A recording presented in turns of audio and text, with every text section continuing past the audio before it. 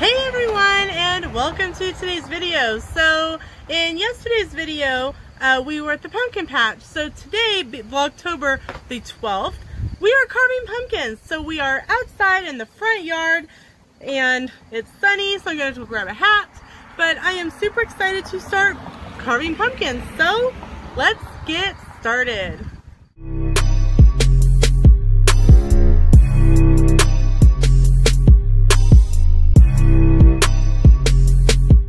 So I'm back, I've got a hat on. So we picked up five pumpkins yesterday at the pumpkin patch. And three of them are Sam's and two of them are mine. And my two are the little ones. So... Well, it was kind of, you're going to carve whichever one you want to carve. Oh, well apparently I'm going to carve whichever one I want to carve. But I picked this one. And it had a bigger stem on it, but it fell out of the, the, the wagon and the stem broke off. And I picked this one. So I think I'm to carve this one. But the first thing I have to do is I need to find the pattern that I want. And we picked up this 20 piece family carving kit at Walmart and it was $7 and it has several different sizes of carving tools plus it has the super goop scoop so we can coop scoop. I get this really weird reflection, so I'm like, say, things are, but are. You want me to move you around in the shade? No, I'm okay. I was looking. The, I'm getting a reflection from this some way. It's really weird. Um, but this is the super goop scoop. So I have my large mixing bowl here so that we can put all the pumpkin guts in it because then we'll clean them and roast some pumpkin seeds. It is a beautiful day out here, isn't it, dear? Mm. So Sam's going to actually carve a pumpkin too, I think, aren't you? Yeah, but mine may not be right this minute. So I don't know if you'll actually get to see the process or if you'll just get to see the end result. So I'm going to pick a pattern and let's start carving on a pumpkin. I picked this one. It says Boo.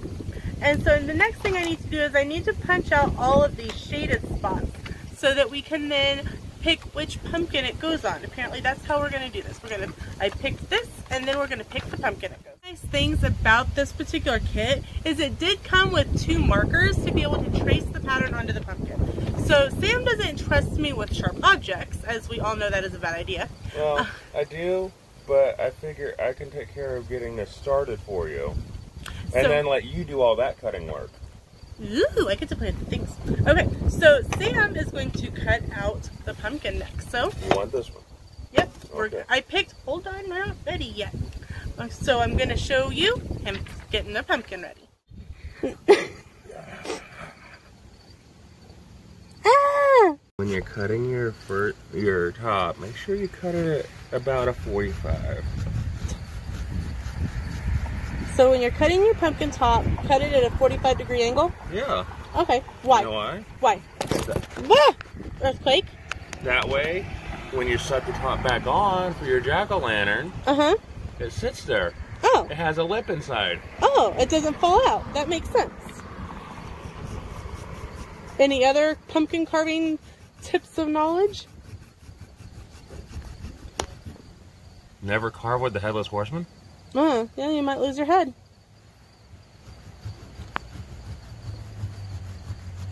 We did decide to do this outside simply because carving pumpkins can get messy, especially when you start pulling out all the guts. You but, didn't say you were gonna kill it. Ah, poor pumpkin. And we are opting not to use lights. We have got some. Um, well, we're using. We're lights, using not using not candles. candles we're using some LED lights. And sometimes it takes a few extra little... Well, I'm out, but it's just all the guts inside. Ooh. Do you need to use the big goop scoop? I may have to use, not the scoop scoop yet, but I may have to use the bigger.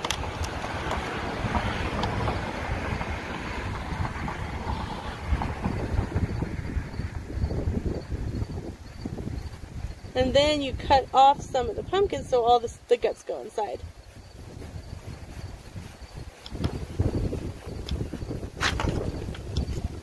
Ta-da! And now when you set it back in there, it just sits right back in. That is so smart. side. Okay. Get out your big scoop Your scoop and your bowl. Don't forget your bowl. and your bowl. Hold on. Bowl.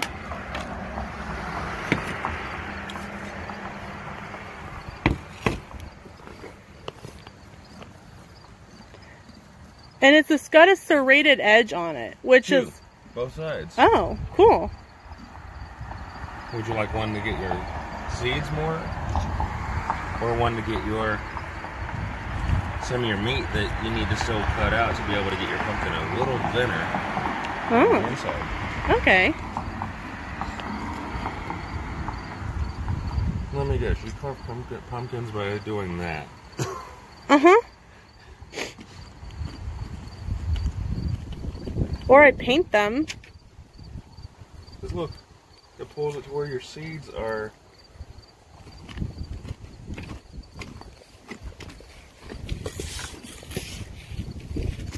Inside in there. Ew, yummy. The the seeds, good.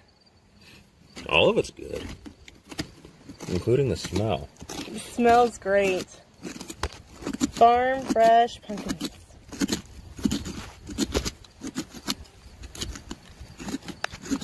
Out as possible. Okay.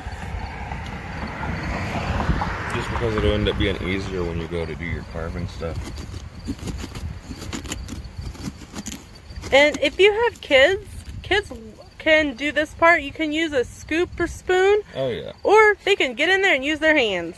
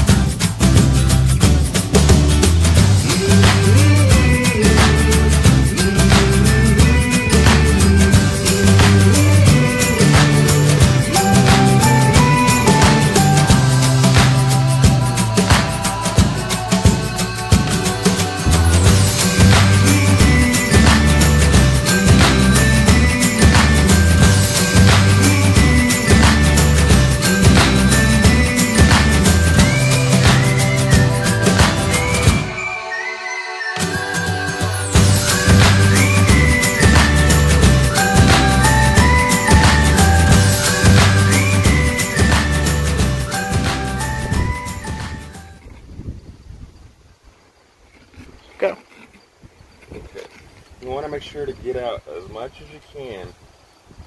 One, it'll make your walls a little bit thinner. And two, it'll help your pumpkin last longer outside. Uh, because some, what'll cause some of the rot from inside is having some of this. Because the shell is fairly solid. It's the goopy stuff. It's all the goopy stuff inside that Makes it rot. rots quicker. Okay. It doesn't necessarily make it rot, it rots quicker. Okay. And it'll still rot over time either way. no. No, I'm sad. And then we just have to go through this the bowl later and get all the seeds out. Well, you can use the other for other stuff too. Oh. You can use the other to puree it and get like your pumpkin mix, your canned pumpkin. Uh huh. Normally that'll come from your smaller pumpkins, Okay. but you can use some of this from the bigger pumpkins. Huh. I did not know that. Hmm. Lots of look. About pumpkins. You know a lot of random things about pumpkins. I also love Halloween. True. True, true, true. And now, I'm cleaning it. you're cleaning it. It's been laying out in the field for how long? A couple, three months as it grew. The outside, it's wiped down well.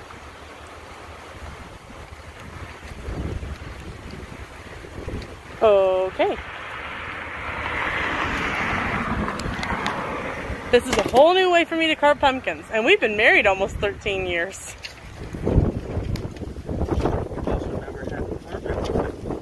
No, I painted them in the past. You weren't going for that this year.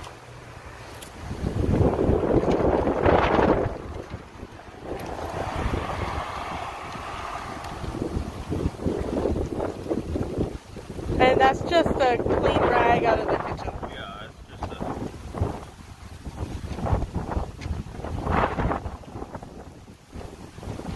a. Trust me, I was like, you want to clean the pumpkin? I thought he was doing something on the inside, not the outside. I will. I'll use the faucet over there.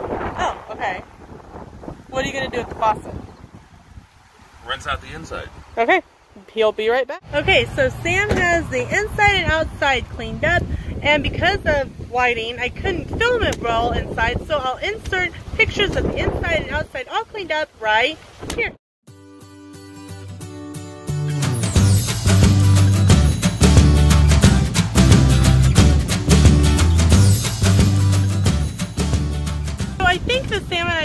one of the windiest days in Kansas to try to carve pumpkins because the wind has tried to rip my design twice now and it's succeeded once. So Sam has taken the pumpkin, the tape, and the marker to the side of the house and he is going to take care of taping the pumpkin, taping the pumpkin, taking, taping the stencil to the pumpkin as well as he's going to do the tracing for us so that all I have to do is cut it out which I greatly appreciate. So we'll be back in just a little bit with a traced pumpkin. Alright, so Sam has brought me back the pumpkin. One comment I will make Okay, is you want to use these twice, yep. copy it. So put it on the copier first. Alright, so if you didn't catch that, if, if you want to use the uh, tracers from the book multiple times, just make a quick copy of it on your copier. So here it is, Sam went over it a couple times, and now is the part that apparently I get to do. We're gonna cut the pumpkin. Lena's gonna try not to cut herself. Use one of the small ones. Okay, like this one? Yeah, because you're gonna be using. It's a lot of detail work. Okay, so what Sam has told me is to cut along the black lines and I will be good. So I will set up the camera so that you guys can watch. And, well, we're gonna cut it. I'm nervous about this.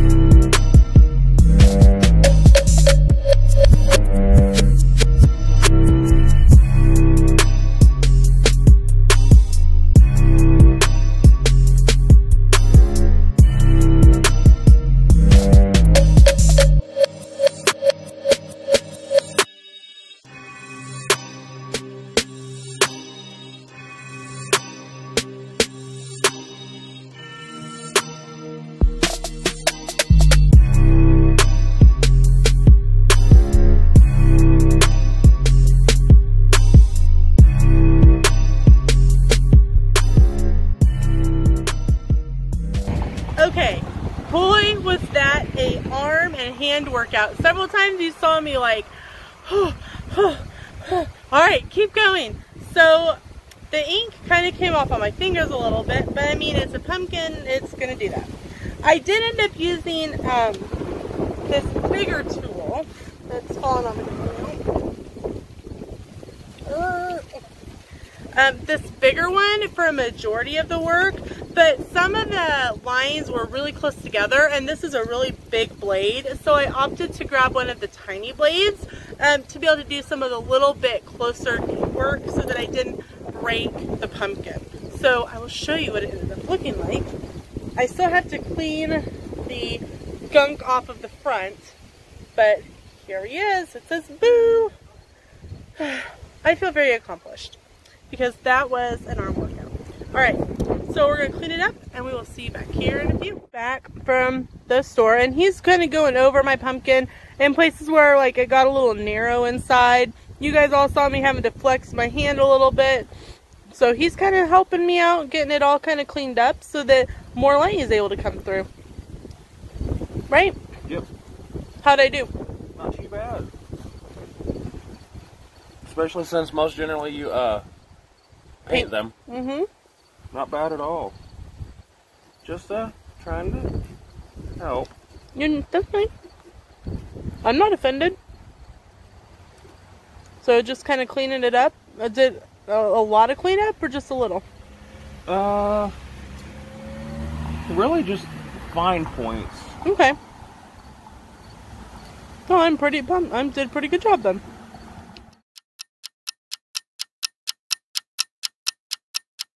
It is several hours later. Um, the pumpkin has been sitting outside. Sam's been working on outdoor decor. And the next thing that I'm going to show you with our pumpkin is it all lit up. But we've got to wait for dark. So we'll see you when it gets just a little bit dark. And here's the final product of my pumpkin. Isn't that cool? It's got an LED flasher. For carving pumpkins, thank you so much for watching today's video and we'll see you and tomorrow for the next one.